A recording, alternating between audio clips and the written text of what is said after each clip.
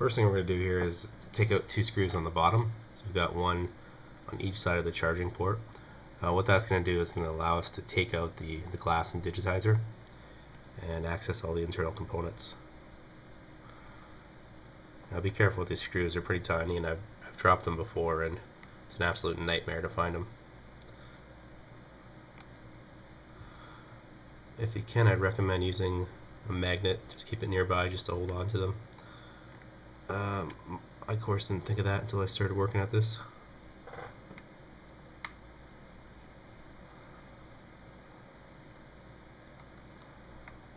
There's a lot of dust coming out with them.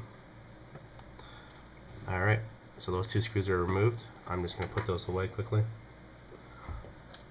Here, I've got a little pop cap. I'll put them in there. And put them aside where I won't lose them. Now that we've done that, we can use uh, just a standard suction cup here. And we could get it nice and stuck. And then it's a matter of just gently prying back. Make sure that the, this bottom end that you just loosened up, that is going to come apart first. You want to kind of pivot on this side so you don't tear out all the cabling.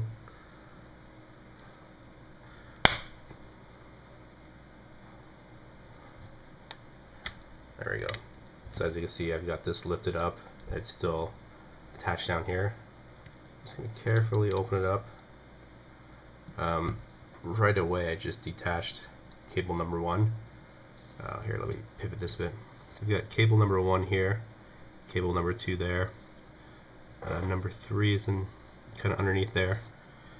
Uh, you're gonna have to release all of those in order to attach this front uh, digitizer.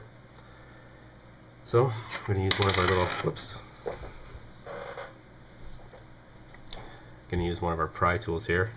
Since number one's already detached, I won't show you that, but number two, just kind of pop it up. Now that two and three, or sorry, one and two are free, I can see number three there. Uh, this one, there's a little white strip you got to lift up about 45 degrees.